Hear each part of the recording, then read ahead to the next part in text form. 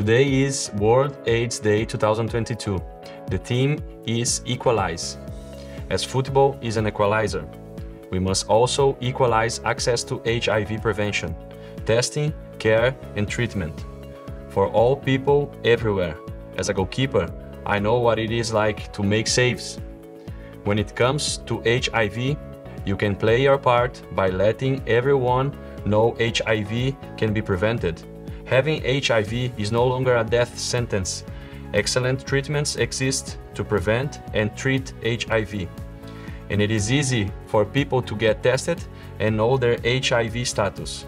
We also must fight stigma and discrimination. I call on everyone from football fans following the FIFA World Cup to health champions attending World AIDS Day events to speak openly about HIV, support access to services, and dispel myths.